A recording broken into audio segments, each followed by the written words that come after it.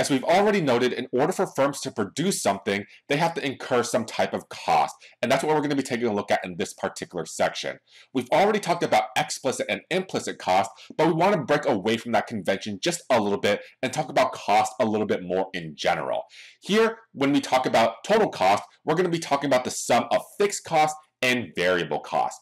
Fixed cost, also called overhead, are costs that do not vary with the quantity produced. So these are things that we're going to be paying for if the business is open or if the business is closed or if the business produces, say, one unit versus one million units. They're always going to be paying these fixed costs no matter what. So what do you think would be a few examples of these fixed costs? Just thinking about it, just thinking about it in general. So for these fixed costs, we're going to denote it with a shorthand FC right here. These fixed costs can be seen things like rent or your mortgage payment. So rent or your lease payment. You're going to have to pay the whoever owns the building your rent payment or your lease payment, no matter if your firm is going to be producing 10 units, 100 units, 100 million units. It doesn't really matter if you're open or closed. You have to pay it no matter what. Other example may be, say, your car payment. So car payment your vehicle sort of payment as well. Basically, it just says that, hey, it doesn't matter if you're open or closed, you still have to pay this no matter what. And these costs typically are going to stay constant over time. The other type of cost is going to vary, and that's where the name comes from, the variable cost. These are going to rise as the level of output increases. So here, if you produce one unit, you have some amount of money that you need to pay, but this cost is going to rise if you produce more, say 10 units, a 1,000 units, a million units. These are going to rise, and that's what we denote as your variable cost. So here we have variable costs. And these variable costs, we'll denote it shorthand VC right here. These can include essentially a lot of different things. They can include your utilities, utilities. If you want to go ahead and produce more of a particular product, you probably are going to incur a lot more utilities costs, so electricity, water, etc. We can go ahead and take a look at your labor wages. So labor wages. If you want to go ahead and produce more, you're going to have to hire more workers, and therefore you're going to have higher wages. And also like materials, so raw materials, you want to produce more, you need more raw materials, therefore your variable costs go up as well. So fixed costs always remain fixed. They are constant no matter if the business is open or closed or whether you not you produce a lot of goods or not a lot of goods.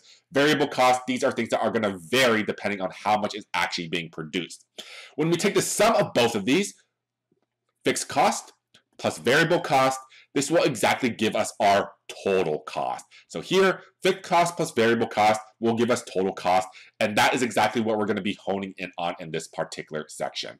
So once again, know the similarities and differentiation between fixed cost and variable cost, and just to sort of complete this thought process, go ahead and take a look at this particular example with the office, just to make sure that you understand what.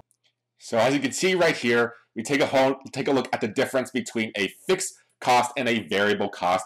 With the business expanding, the variable costs are going to be increasing while the fixed costs are going to remain constant as the business sort of operations go along. So once again, fixed cost, variable cost, and total cost. Another example of this is going to be, say, a yacht or a cruise ship. Uh, building the cruise ship itself is going to be seen as a fixed cost. The cost does not change based on the number of actual passengers on board, but something that would be considered a variable cost would be something like, hey, how about the food? So here, the more and more passengers that the cruise ship is going to have, the higher the food costs are going to be. So therefore, it is seen as a variable cost. Notice that we are not going to be talking a lot about the sunk costs. We remember we talked about the sunk cost fallacy, but sunk costs are not going to be included in any business decision making sort of uh, strategy at all. So we leave them to the wayside. There are more costs that we are going to be sort of interested in taking, taking a look at, and there are a whole bunch of variables uh, and a whole bunch of equations and formulas that do go along with it. One of the most important variables we hone in on is the marginal cost. So once again, the key word marginal, the additional cost, the change in total cost from the production of one more unit of output. So when we change the quantity, we want to see exactly how much our cost, our total cost are going to be changing. So once again, marginal cost, that key word, we are very interested in marginal measures. So with marginal cost, MC will denote it as shorthand. It's the change in total cost, change in total cost, divided by the change in quantity. Change in quantity, quantity. So once again, we're going to be taking some type of differences. Change in TC over change in quantity. And because there are going to be a lot of relationships that do develop between all of these cost variables, we can go ahead and calculate marginal cost using this formula that we have right here or through a different manner. So one thing that we can go ahead and do is take this TC plus FC TC equals FC plus VC equation and manipulate it just a little bit. So TC equals FC plus VC. And one thing that we can do is use the rules of algebra in order to help us out in this regard. So when we go ahead and divide everything by Q, that's going to maintain our equality. So divide this by Q, divide this by Q, and divide this by Q as well. So here, this is still going to maintain our equality because what we did to the left-hand side also matches up on the right-hand side as well.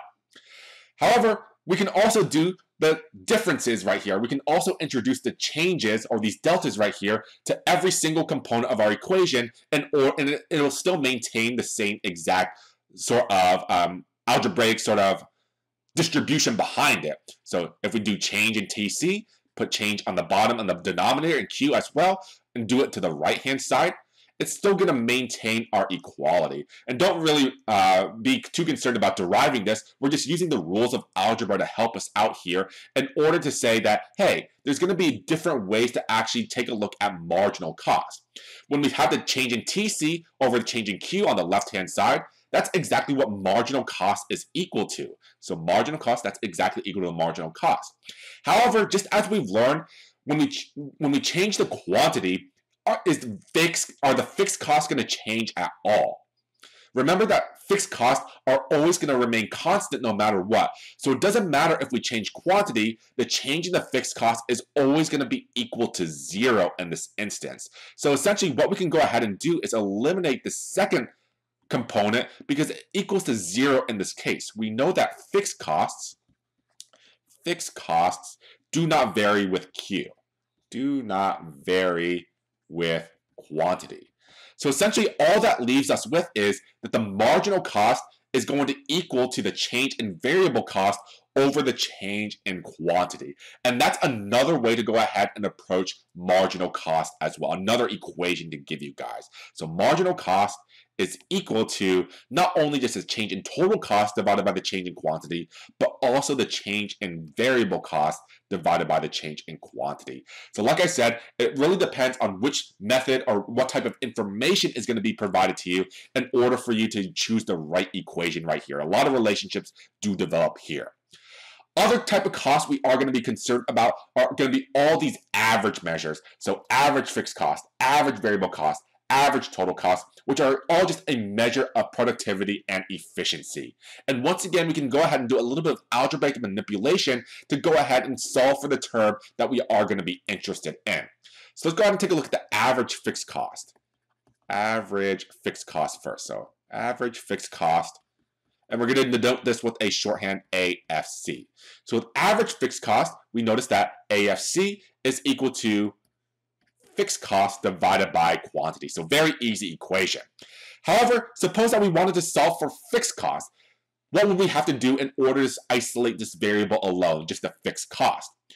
Well, if you remember algebra, we can go ahead and multiply the q on both sides to get rid of the denominator. And in order to find fixed cost, it would just go ahead and be the AFC, the average fixed cost, times quantity. So once again, sometimes we may be a little bit interested in finding the average fixed cost. Sometimes we just may be a little bit more interested in finding fixed cost, and we can use algebra to help us out. In terms of average variable costs, variable costs, it's going to be AVC. That's going to be our variable cost divided by quantity. And once again, if we're just interested in solving out for variable cost itself, multiply by Q in order to solve that out to isolate it. So VC equals AVC times quantity. And then finally here, we have average total cost. Average total cost which is going to be ATC, and that's going to be TC, total cost divided by quantity. So remember, don't confuse these average measures with the fixed cost, variable cost, and total cost themselves because there is an extra step that is involved with these average measures. If we wanted to solve for TC by itself, go ahead, multiply by Q on both sides. So we get total cost equals ATC times quantity. So once again, we have one equation, but you can algebraically manipulate them in order to solve what you are looking for. One last relationship that's going to develop, we had total cost equals fixed cost plus variable cost. We had this right here, TC equals FC plus VC. But remember, if we divide everything by Q, we get TC divided by Q equals FC divided by Q plus VC divided by Q. And that just is going to give us all these measures that we have right here. So average total cost equals average fixed cost plus average variable cost. So once again, all of these relationships, all of these equations and formulas are going to be very, very important for us because they do mean slightly different things and they do require just a little bit of algebraic manipulation in order to solve for. So all these costs are going to be in the short run once again. And what are exactly are we going to do with all these equations and formulas? We're going to be using all of them to solve a little bit of a puzzle that we see right here. And we'll get into this example as we use all these equations in the next video.